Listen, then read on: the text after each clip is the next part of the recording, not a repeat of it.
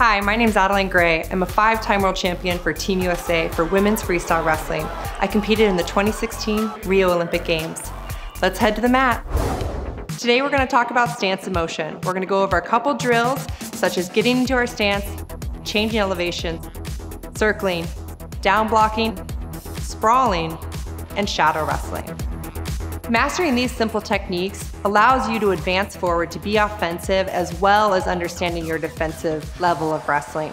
It creates angles and forces your opponent to open up their wrestling so you can open up yours to score points. So, whatever hand you would throw a ball with or kick a ball, we're gonna take that and put it on that leg. That leg's gonna move forward and then this back foot is gonna go into a sprinter stance. So if you were gonna run away and push off the blocks, that's what we wanna come up onto a toe.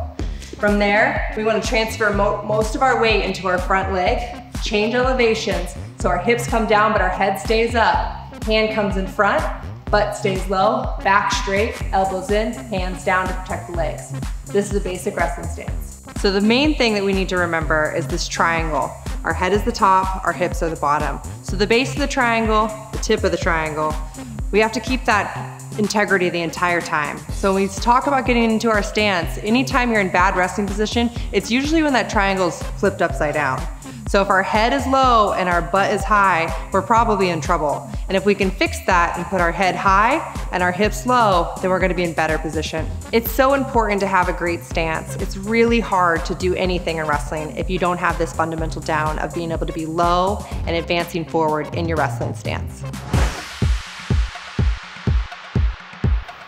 From here, we're gonna change elevations. All that means is we're taking our hips lower and our head's gonna stay up and we're gonna touch the mat, protecting this front leg. We can have this leg being able to bounce off to pressure forward. Most of our weight is in this front leg. We can come back up. We must protect the legs, never coming higher than the belly button. If you're standing up straight, you're probably gonna be more defensive. If you're gonna be low and in your stance, advancing forward, you're gonna be more offensive, more willing to be on the attack, scoring points, and just overall better at wrestling. The next basic wrestling position we're gonna work on is circling. Being able to be agile in your stance, moving and not having too much weight on one foot versus the other and transferring that weight without forcing our feet together. We wanna make sure we get into our stance, we have good distance between our legs, and when we're moving, we keep that distance. So we're never crossing our legs or putting our feet close together because we'll be susceptible to be taken down. So we keep our feet apart and we're circling, change direction. This right hand stays in front to protect my right leg. This hand staying open to be able to attack. We're circling. Next position is down blocking. So we're gonna get into our wrestling stance. If someone starts attacking us and trying to get to our legs, we're gonna put our hands down, block with our head, and take our leg away. So what that looks like is this position right here. We wanna keep our eyes up. We wanna lower our head, take our leg backwards so they can't attack it, and our hands down, and bring them right back up to advance into our opponent. You can tell I'm staying low in my stance at all times. I am dipping my head below my hips, but I'm bringing it back up into position right away. The next move we're gonna do is a sprawl. You're getting into wrestling position. This is a defensive move where we're gonna take our hands to the mat and our foot's gonna shoot back. Our hip is gonna try to shoot into the mat. Our shoelaces go to the top of the wrestling mat.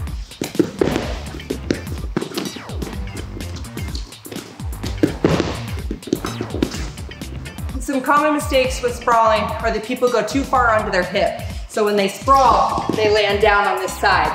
That creates too much of an angle, and if your opponent doesn't go underneath you, then you could be susceptible to being taken down. So when we sprawl, we wanna make sure that the hip goes flat into the mat, and this foot is straight back so we can extend backwards, and our chest stays high enough to be able to circle around and keep our opponent in front of us. So similar how you always see boxers walking around punching mirrors or punching a shadow, we're gonna do that but in deep wrestling stance.